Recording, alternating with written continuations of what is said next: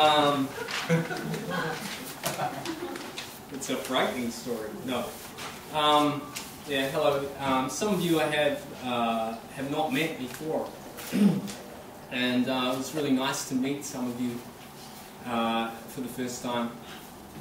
And uh, I think I think you know some of you know Robert really well because like he's been teaching for six years at Phoenix. Um, so this year I, I joined Phoenix. Um, it was my pleasure to work with Robert, my very great pleasure to work with Robert. Um, I'd like to continue to do that. I think he has an excellent way with people and with students, and uh, I, I, can learn a lot from, from him actually.